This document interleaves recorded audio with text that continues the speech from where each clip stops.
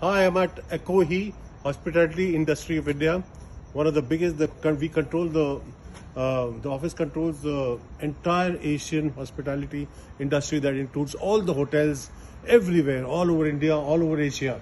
It's a fantastic opportunity to meet somebody like Sunny, who's the chairman of this wonderful place, and I am showing you some of the photographs. And here's Sunny. This is Sunny and we're all together having going to have dinner right now.